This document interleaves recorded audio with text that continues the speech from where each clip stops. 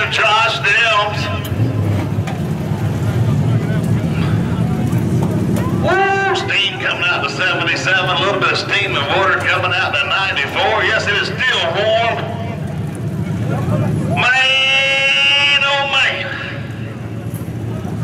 It's kind of a different lineup up here, you guys. Good to see you guys back up here again. Yeah, I want to thank uh, Bill Light for sponsoring the division. The fans are stuck it out through the rain. Um, we just missed a little bit with the track being this muddy. I mean, they did everything they could to get it in. So hats off to the racetrack and the prep crew for doing that. Uh, congratulations to David on the win.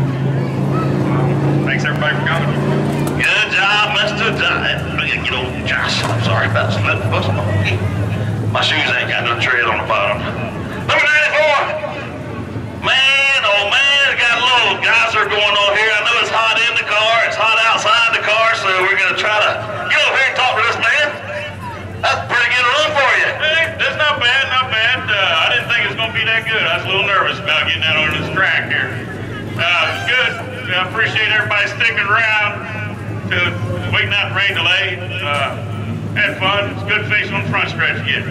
We glad to have you back up here, my man. Congratulations. Uh, uh, Hey, my buddy uh, Joey helped me out, and uh, Army Baker, instructor. You got it, my man. Glad to have them folks on board with you. And here we are. We're trying to get up here in our winter.